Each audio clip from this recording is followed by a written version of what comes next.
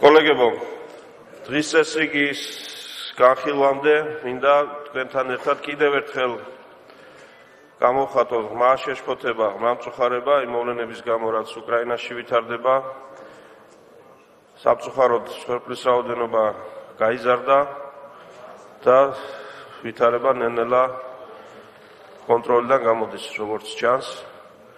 ეს უაღრესად სამწუხარო ფაქტია, ჩვენ ამ მოვლენას შევეხმიანეთ პარლამენტის მიერ მიღებული ორი განცხადებით, ძალიან ბევრი გამოსვლით.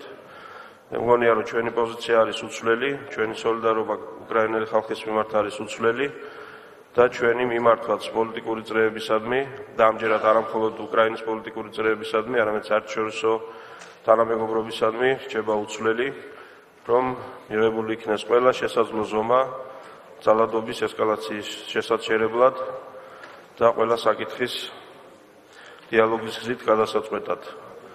ჩვენ კვლავ თანადგომას უცხადებთ უკრაინელ ხალხს და ვუსურვებთ ამ ძალიან ძიმე ვითარებიდან რაც შეიძლება მალე თავის დაღწევას